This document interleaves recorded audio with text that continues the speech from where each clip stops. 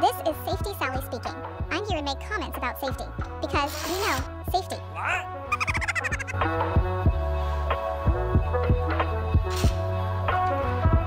Always wear hearing protection and goggles when working with loud tools.